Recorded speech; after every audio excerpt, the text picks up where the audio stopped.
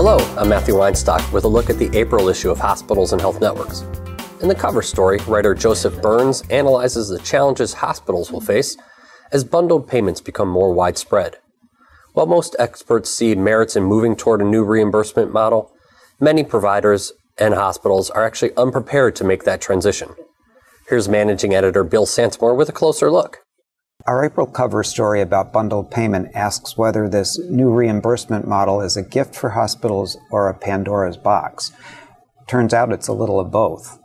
Under bundled payment, a hospital and physicians assume the financial risk for delivering care for one price for one patient episode over a set period, usually 30, 90, or 120 days.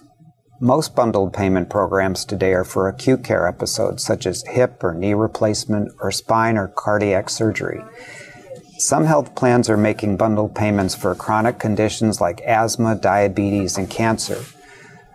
Uh, one person in our article calls bundled payments incredibly effective in transforming care because they focus providers on areas where there are unwarranted variations and realizable savings. And they bring alignment with physicians that allow hospitals to cut their variable costs and reduce post surgical complications, pharmacy costs, and length of stay. But as our writer Joseph Burns found out, setting a bundled payment on an episode of care will be very complex for most hospitals. Administrators and their physician partners will have to collect reams of patient data, spend hours identifying best practices, and develop teams of clinicians to run these programs.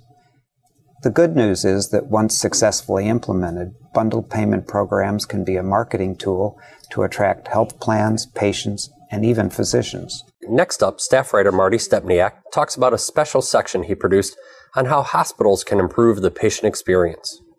So this month's Gatefold takes a closer look at what hospitals are doing to take the next step in improving the patient experience. Uh, while a lot of providers have made great strides in this area, some have struggled to sustain those changes. Uh, one of the strategies we explore involves moving away from a sort of conveyor belt model of care where the patient just moves along a line from provider to provider with no real coordination to a more team-based approach with the patient right at the center. It's also important for hospitals to look beyond the measures spelled out in the HCAHPS survey and focus on things like minimizing avoidable disruptions or working harder to involve the patient's family.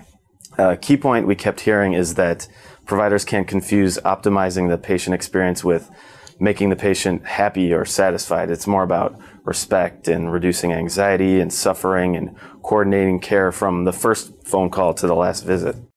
Also in the April issue, we have an exclusive interview with Dr. Benjamin Chu, chairman of the American Hospital Association Board of Trustees. Dr. Chu says that hospitals are making progress in transforming the delivery system, and he urges lawmakers to take a long term view rather than seek short term budget fixes, which he says could derail efforts to improve care and lower costs. For those stories and much more, be sure to check out the April issue of H&HN. I'm Matthew Weinstock. Thanks for tuning in.